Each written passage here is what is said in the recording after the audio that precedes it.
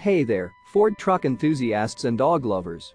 If you're looking for the perfect wall decor to show off your love for your Ford truck and your furry best friend, look no further.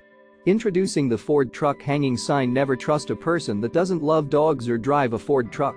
This hilarious and playful sign is the perfect addition to any dog lover's home. Made of lightweight MDF wood, this fun vintage sign features wood grain textures, natural browns, and a pop of blue, making it easily readable from near or far. Hang it in your man cave or garage for all to see and let everyone know where your loyalties lie with your Ford truck and your beloved dog. And the best part?